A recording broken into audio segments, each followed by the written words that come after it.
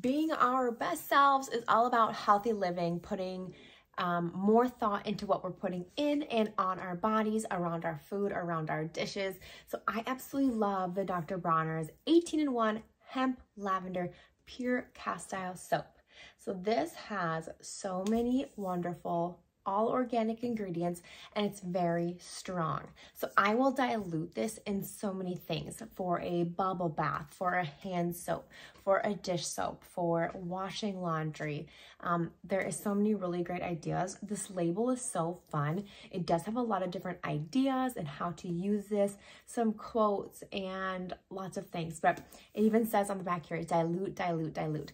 This is very strong. It's very pure.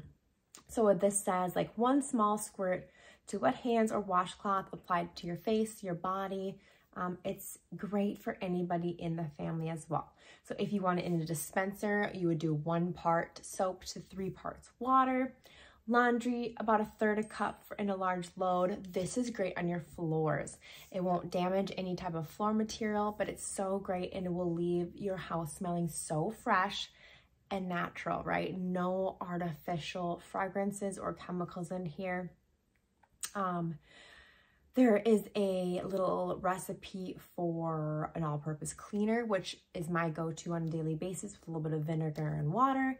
Um, and then I didn't realize this, but you can spray your plants one tablespoon to a quart of water, spray your plants to keep bugs away. So I might have to start incorporating this into my garden this summer.